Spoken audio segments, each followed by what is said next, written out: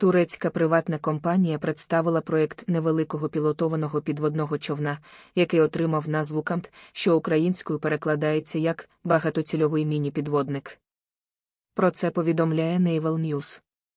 Розробкою човна займається компанія Datem Submarine Engineering, яка є афілійованою зі Стамбульським технічним університетом.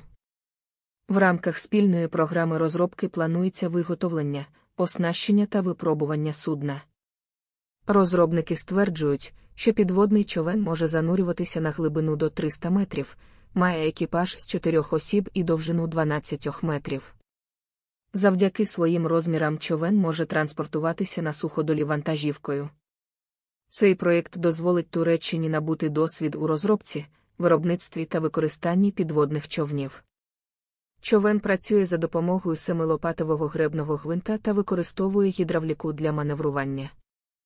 Судно обладнане електродвигуном з водяним охолодженням, що може стати основним для турецьких безпілотних підводних апаратів. Також підводний апарат має систему баласних цистерн для занурення, підйому та коригування глибини, а також насоси для стисненого повітря.